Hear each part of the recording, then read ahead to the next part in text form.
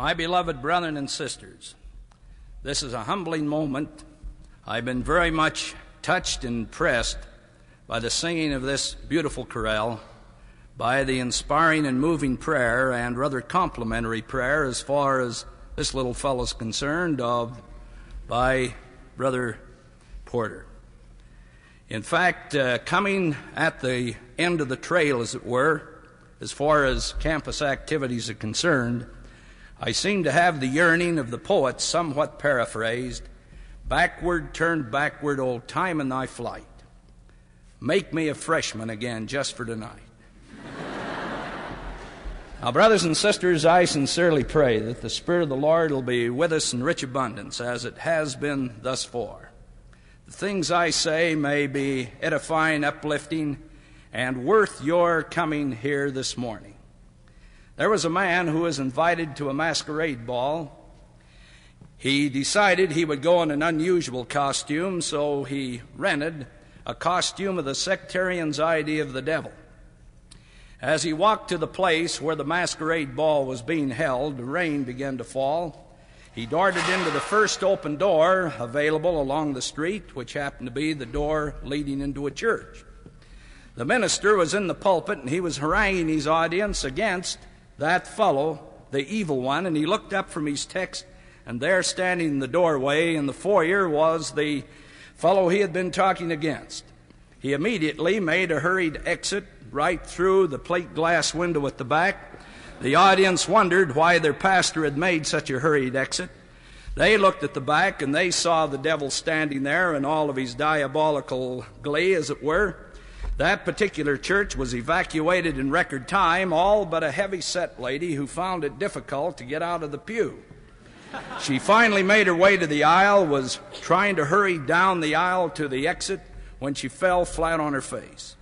The devil, gallant fellow that he turned out to be, came over there to help her up, and as she looked into his diabolical face, fear and consternation written all over her, she blurted out, I've been a member of this church for the last 30 years, but I've really been on your side all the time. well, as President George A. Smith often said in pioneer days that he knew a lot of saints that served the Lord like the very devil. Now, the prophet Joseph Smith taught us how to serve the Lord as the Lord would have us serve him. In fact, he said, if we aren't drawing near the Lord in principle, we are going from him and drawing towards the devil. There wasn't anything that was so dear to the heart of the prophet Joseph Smith as friendship. How the prophet Joseph loved his friends. President Brigham Young was to say that August day of 1844, Joseph so loved this people that he gave his life for them. He loved them unto death. You did not know it until after his death. As the prophet was leaving Nauvoo to go to Carthage, he stopped before the temple up one story. He looked over the city that housed the saints that he loved. And he exclaimed, This is the loveliest place and the best people under the heavens. Little do they know the trials that await he could see no fault in the church. He loved the majority of the church members so well that he wanted to be resurrected with them. He was not concerned whether they were resurrected in heaven or in hell. In fact, he was to say, if we find ourselves in hell, we will turn the devils out of doors and make a heaven of it. Wherever the saints should be, Joseph knew there would be good society. Joseph loved people. He ended a letter to a recent convert in words something like these I love your soul and the souls of all men, and do all I can to bring them salvation. The prophet Joseph Smith taught love is one of the chief characteristics of deity and ought to be magnified by those who aspire to be sons of God. A man filled with the love of God is not content with blessing his family alone but ranges through the whole world, anxious to bless the whole human race. He loved the saints, but he was not blind to their uh, misgivings or their shortcomings. During the last conference address he gave in mortality, he said, I love you all, but I hate some of your deeds. I am your best friend. And if a man does not, if a man does miss his mark, it is his own fault. If I reprove a man and he hates me, he is a fool. For I love all men, especially these, my brothers and sisters. The prophet was not too concerned as to a man's character if he were his friend. In fact, he said, I will be a friend to him and preach the gospel to him, helping him out of his difficulties. Joseph taught friendship is one of the grand fundamental principles of Mormonism. It is designed to revolutionize and civilize the world and cause wars and contentions to cease and men to become friends and brothers. The spirit of and practice of friendship, my brothers and sisters, is contagious. Said the prophet Joseph Smith, it is a time honored adage that love begets love. Therefore, let us pour forth love, show forth our kindness unto all mankind, and the Lord will reward us with everlasting increase. Cast our bread upon the waters, and we shall receive it after many days, increased a hundredfold. Friendship is like Brother Turley in his blacksmith shop, welding iron to iron.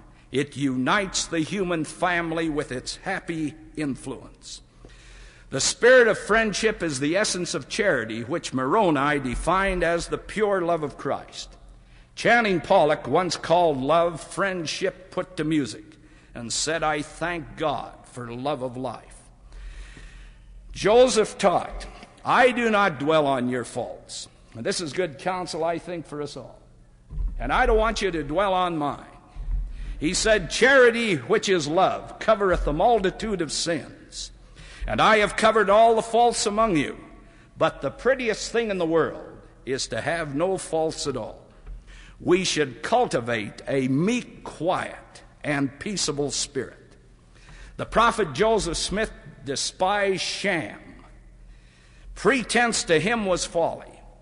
Once he said, I love that man better, who swears a stream as long as my arm, yet deals justice to his neighbors and mercifully deals his substance to the poor, than the smooth faced hypocrite. I don't want you to think that I'm very righteous, for I am not. There was one good man, and his name was Jesus. There came to Nauvoo a Baptist preach, priest to determine the piety of, of the prophet Joseph. When he saw Joseph, he folded his arms and weighing his words uttered, Is it possible that I now flash my optics upon a prophet, upon a man who has conversed with my Savior? Yes, said the prophet, you've had that privilege. Now, how would you like to wrestle with me? During those trying days of persecution in Missouri, William W. Phelps apostatized and turned against the church. He signed his name to a false affidavit which brought much suffering to the saints and imprisoned the prophet Joseph. In a short time, he realized the error of his ways and asked forgiveness and readmittance into the church. He, he wrote the prophet, I have seen the folly of my way and tremble at the gulf I have passed.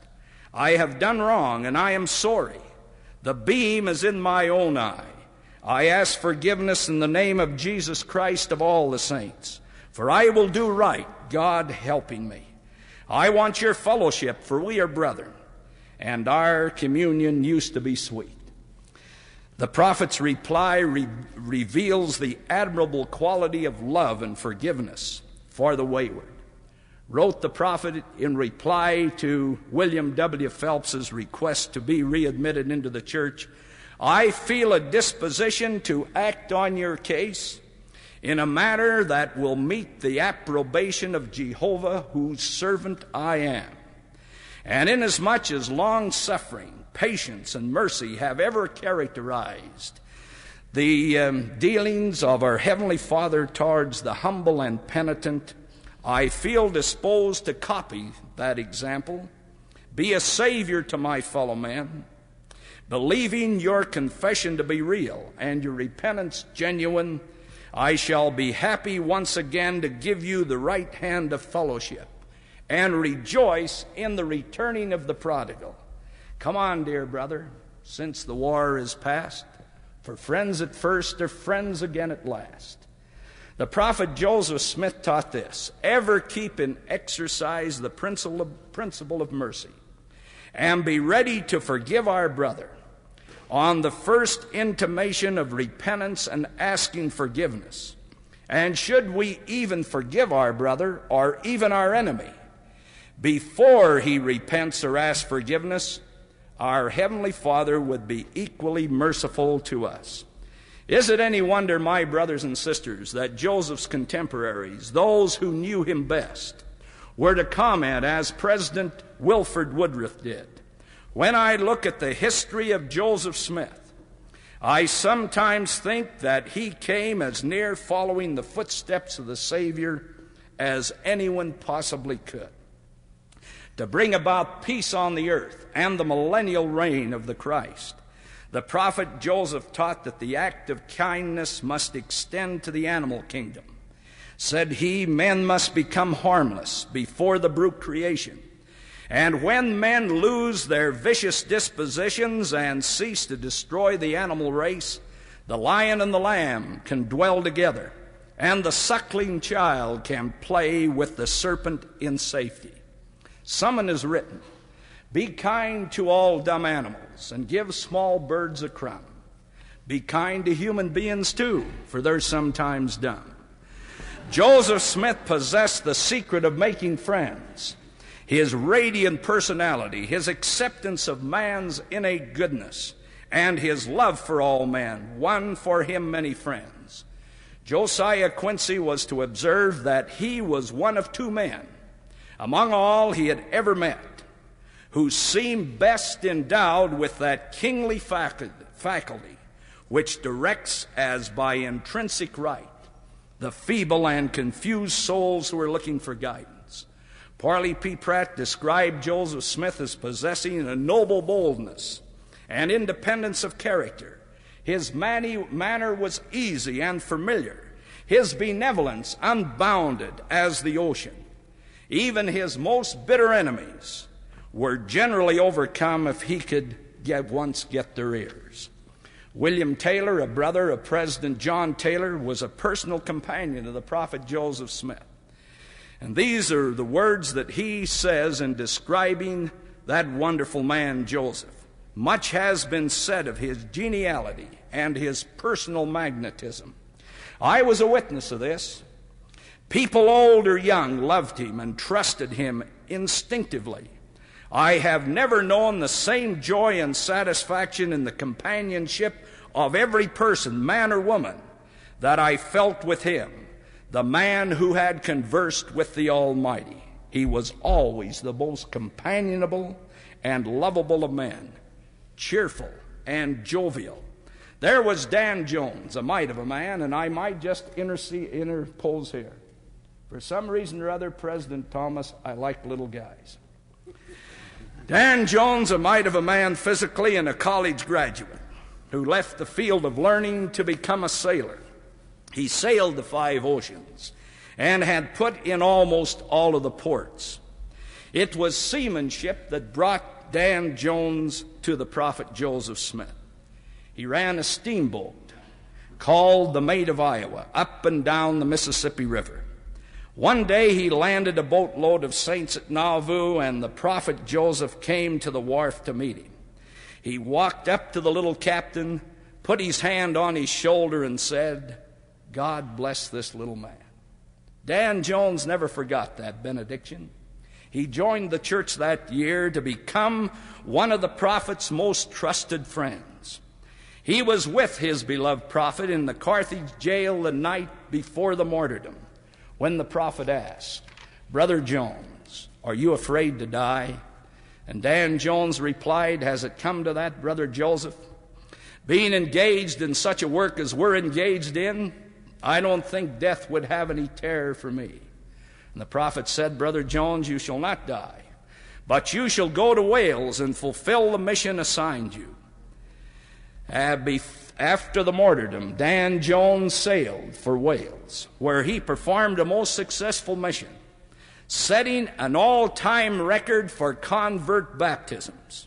He testified, I have come in obedience to the counsel of the martyred prophet, as a messenger of, to my native land, to bear testimony of the work for which his brother Hyrum died, and which he sealed with his own blood. The prophet Joseph, on one occasion, was to say, I'm not an enemy of mankind, I'm a friend of mankind. I have no enemies but for the gospel's sake. The Lord promised the prophet Joseph that he could have anything that he desired. And the prophet was to say, I have been afraid to ask God to kill my enemies, lest some of them perchance repent. During the troublesome days at Far West, Missouri, there came to the home of the prophet's parents eight men from Daviess County, Missouri who believed the lies circulated about Joseph Smith and the Mormons. And they had come to kill the Mormon leader. Mother Smith greeted them at the door and invited them to come in. They refused to sit down. In fact, they informed the mother of the prophet, We have come to kill him. And Mother Smith was to say, If you were to see Joseph, you would not want to kill him. At that particular point, the prophet Joseph Smith entered the room, and Mother Smith introduced the eight men to him. They stared at him in mute silence. The prophet smiled, extended his hand, and invited them to be seated. His friendly, cordial manner convinced them that he was neither guilty of murder than any other crime. A pleasant half hour was spent, during which time the prophet explained his views, his feelings, his mission, the purpose of the church, and the brutal treatment he and the saints had so unjustly received. He then excused himself, stating that he must be on his way home. Immediately, two of the men sprang to their feet and offered to escort him home as they considered it not safe for him to travel alone. He thanked them, but did not accept their offer. As the eight men were leaving the house, Mother Smith overheard them saying, Did you not feel strange when Smith took you by the hand? And another man replied, I could not move. I would not harm a hair of that man's head for all the world. And the third one said, I never saw a man more harmless, innocent, than the Mormon prophet. Yes, indeed, said the third, the fourth. That story about him killing those men is a lie, but they'll never fool me again. The Savior, in his inspiring Sermon on the Mount, taught, Ye have heard that it hath been said, Thou shalt love thy neighbor and hate thine enemy. But I say unto you, Love your enemies, bless them that curse you, and do good to them that hate you, and pray for them which despitefully use you and persecute you that ye may be the children of your Father which is in heaven.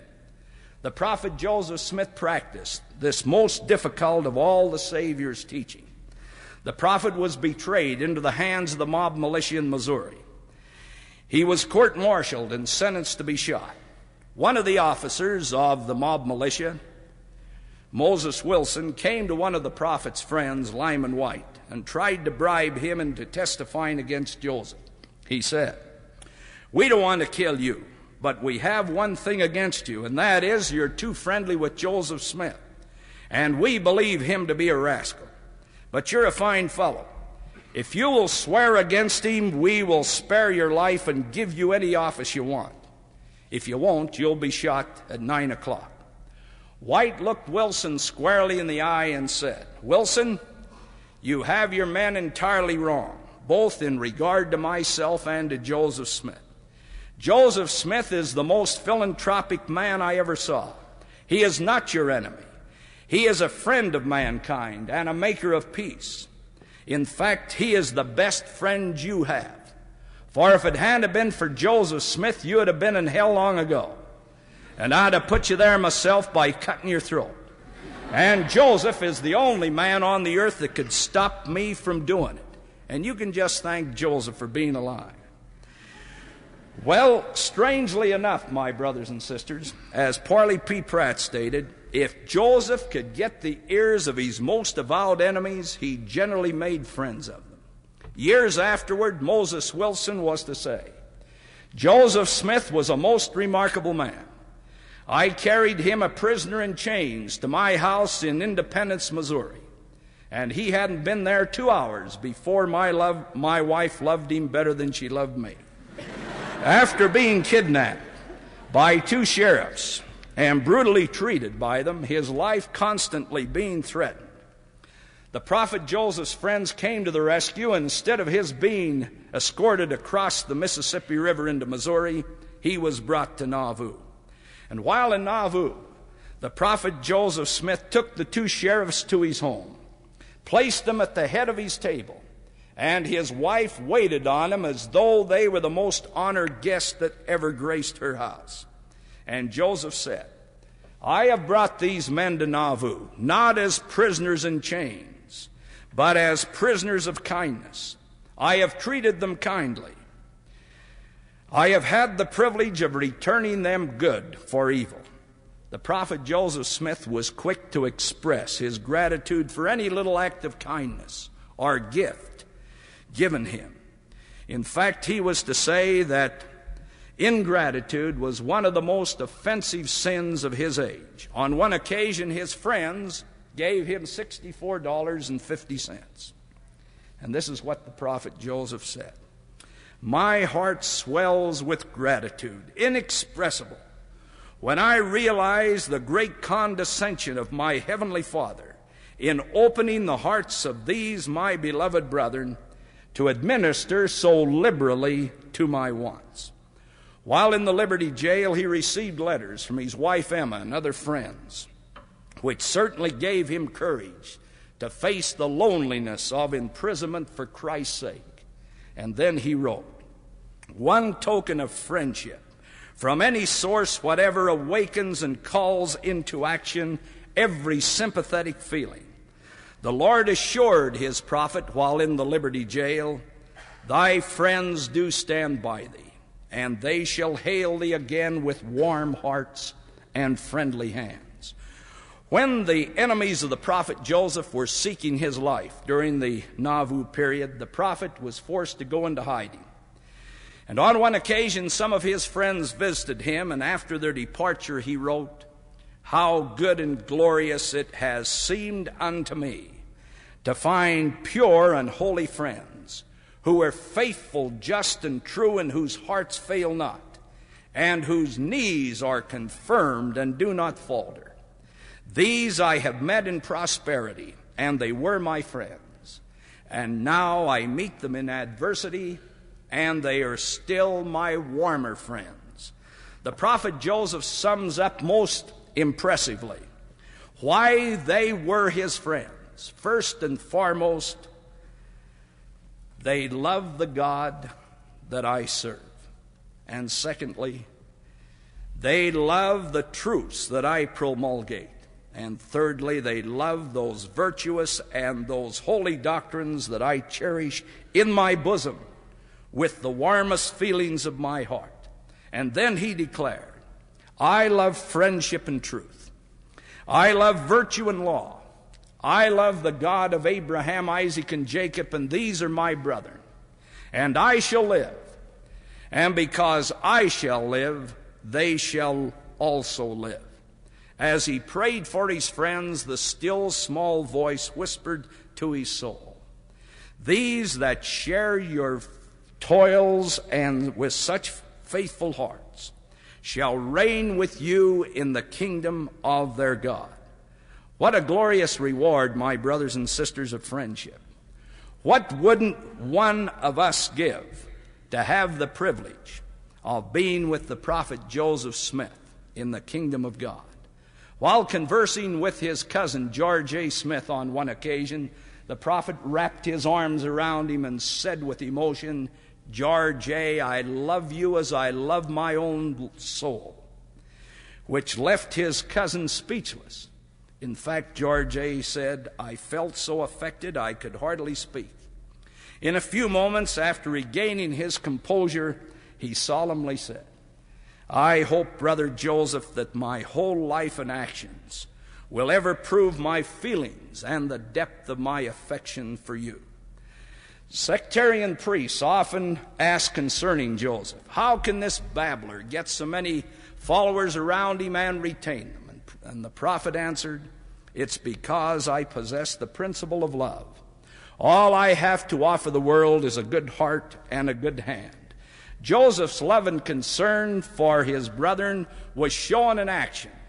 Word came to Nauvoo on one occasion of a poor man losing his house by fire. Nearly all the brethren said they were sorry for the man. The prophet Joseph Smith put his hand in his pocket and pulled out a $5 gold piece and said, I feel sorry for brother so and so to the amount of $5. How much do you feel sorry? Phineas H. Young, an older brother of the prophet Brigham Young, was away in Tiffin, Ohio. And while there wrote Willard Richards, the prophet Joseph's secretary, and he said, I long to see the day when I again visit my brethren and see the Lord's prophet, and hear the words of life sweetly distilling from his lips. Give my love to brother Joseph when you see him. Tell him I'd come to the Rocky Mountains to see him and fight my way through an army of wildcats and Missouri wolves and live on skunks the whole journey. Well, meeting the prophet Joseph was an experience, my friends, that those that had that opportunity never forgot. Amasa M. Lyman traveled some 600 miles to see the prophet Joseph Smith.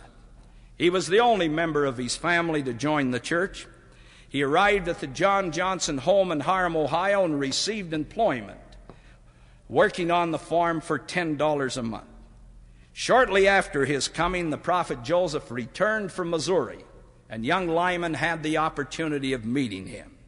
And this is what he said as this first meeting engraved itself, as it were, indelibly upon his mind, heart, and soul through the years. When he grasped me by the hand in that cordial way, known to those who have met him in the honest simplicity of truth, I felt as one of old in the presence of the Lord. My strength seemed to be gone, so that it required an effort on my part to stand on my feet. But in all of this, there was no fear, but the serenity and peace of heaven pervaded my soul, and the still small voice of the, whisp- of the Spirit whispered its living testimony in the depths of my soul, where it has ever remained, that he was a man of God. And then to climax, as it were, all of the teachings of the prophet Joseph Smith on love and friendship, he was to say, Until we have obtained perfect love, we are liable to fall. And when we have the testimony that our names are sealed in the Lamb's book of life, we have perfect love. And then it is impossible for false Christ to deceive us. One of the most touching scenes in the life of the prophet Joseph, and one of the most thrilling, for it demonstrates the unbounded love of his followers for their beloved prophet, was when in the summer of 1843 the prophet Joseph Smith rode triumphantly into Nauvoo after he had been kidnapped by a couple of sheriffs. His friends had come to the rescue, and he enters Nauvoo in triumph. The saints had been notified the day before of his coming, and almost all the people came out to meet him, with his wife Emma and his brother Hyrum in the lead. After embracing his wife and his brother Hyrum, he mounted his favorite horse, Old Charlie. The band struck up Hail Columbia, and the procession started into town. Besides a long line of carriages and persons horseback, the streets were lined with people whose countenance were joyous and full of satisfaction to see their beloved prophet once more safe. The prophet was greeted with cheers from the people and the booming of gun and cannon. At his home, he was embraced by his mother with tears of joy streaming down her cheeks while his little children clung to him with feelings of enthusiastic and enraptured pleasure. His little son, friend, exclaimed, Pa, the Missourians won't take you away again, will they? His friends from out of town looked on with amazement and astonishment, but with unconcealed pleasure at the loving attachment of the prophet's family and his friends towards him. His friends were loath to depart. One can feel the prophet's love for his friends as he blessed them. I thank you for your kindness and love for me. I bless you all in the name of Jesus Christ.